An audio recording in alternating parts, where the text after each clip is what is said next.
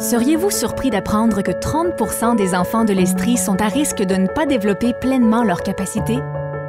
Et ce parce que la vie les a placés dans des circonstances fragilisantes, comme avoir des parents faiblement scolarisés, vivre dans une famille à faible revenu, être né à l'extérieur du Canada, avoir comme langue maternelle l'anglais ou bien tout simplement être un garçon.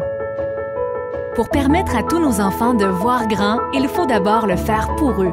Il s'agit simplement d'appuyer les parents, d'agir le plus tôt possible, d'appliquer les solutions les plus prometteuses et surtout de placer les enfants au cœur de toutes nos décisions.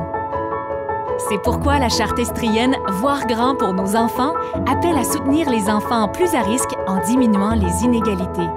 Votre engagement compte car il contribuera au plein épanouissement de nos tout-petits comme de nos plus grands. Agissons ensemble pour faire de l'Estrie une région où tous les enfants ont la même chance d'atteindre leur plein potentiel. Signez la Charte estrienne Voir grand pour nos enfants.